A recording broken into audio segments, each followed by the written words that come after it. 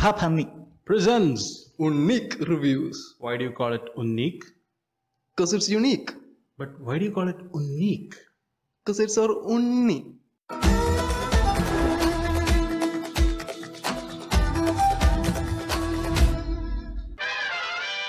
So this is Ithakk, and we have his buddy Johnappan. After Johnappan disappears, Ithakk has the responsibility of taking care of his daughter Sara.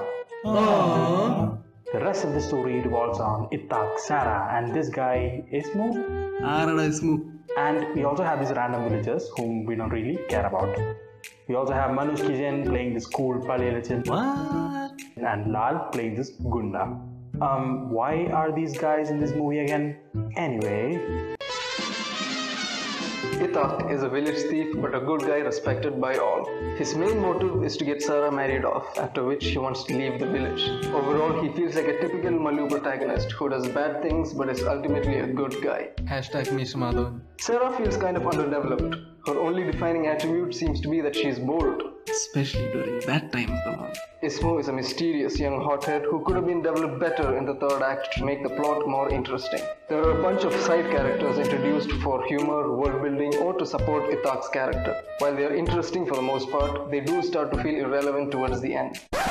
This guy, this mother, he steals the show with just one scene, so watch out for him. Too much time is spent in the first half for establishing side characters and subplots. This would be fine if there was a proper payoff in the end that successfully ties in the subplots, but there isn't. As a result, not enough time is invested in developing the main characters. The climax had the potential to go in many directions, but the movie decides to play it safe and give us a somewhat predictable ending. Cinematography and BGM so good. So good, so good. Thought of Thottappan overall had potential, but it tries to juggle both world building and plot driven storytelling, only to do a half assed job at both, resulting in a meh experience. If you like this video, we feel really sorry for you because you have horrible taste. But hey, do click on that like button. And if you want to give us your valuable feedback or call us some random theory, comment down below.